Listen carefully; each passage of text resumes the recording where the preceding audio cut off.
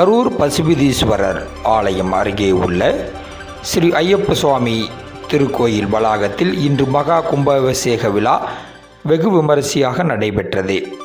முன்னதாக யாககால பூஜைகளுக்கு சிறப்பு அபிஷேகங்கள் ஆராதனைகள் நடைபெற்று இன்று அதிகாலை மிக எளிமையாக அரசு நிர்ணயித்த சமூக இடைவெளியை பின்பற்றி மகா கும்பாபிஷேக விழாவானது நடைபெற்றது.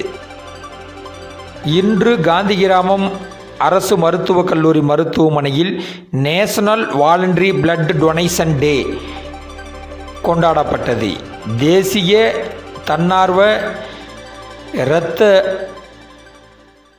கொடையாளர்கள் தினம் இன்று கொண்டாடப்பட்டதை அடுத்து MRV trust Seva Sangam Chennai silks south Indian வங்கி டிஎன்பிஎல் டைஃபி உள்ளிட்ட நிர்வாகிகளுக்கு இரத்த தானம் வழங்கி சிறப்பித்தமைக்காக சான்றிதழ்களை கல்லூரி முதல்வர் அசோகன் இன்று வழங்கினார்.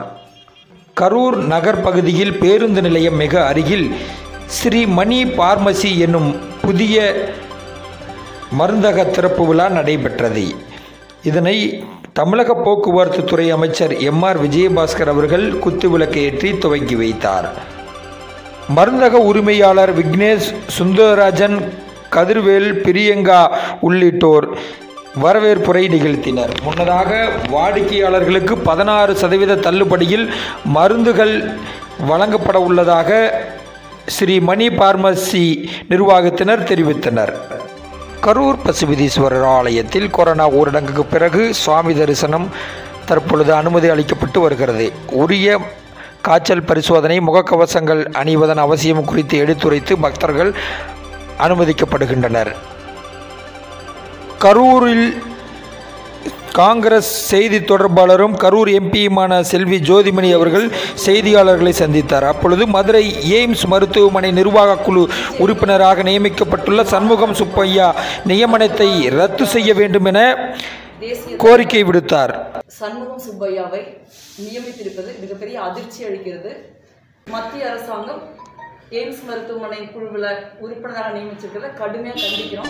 கரூர் காந்தி கிராமம் அரசு மருத்துவக் கல்லூரி மருத்துவமனையில் நேற்று நாற்பது வயது மதிக்கத்தக்க நபர் ஒருவர் கொரோனா வைரசுக்கு பலியானார். இதனால் மொத்த பலி எண்ணிக்கை நாற்பத்தி ஆறாக உயர்ந்துள்ளது.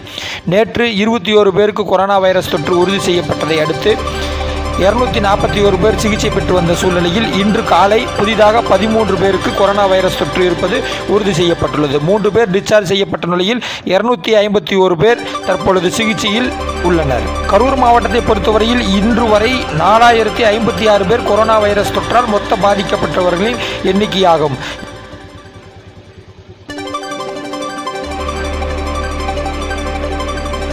இது வரைக்கும் நம்ம சேனலை நீங்கள் சப்ஸ்கிரைப் பண்ணலைன்னா மறக்காமல் சப்ஸ்கிரைப் பண்ணுங்கள்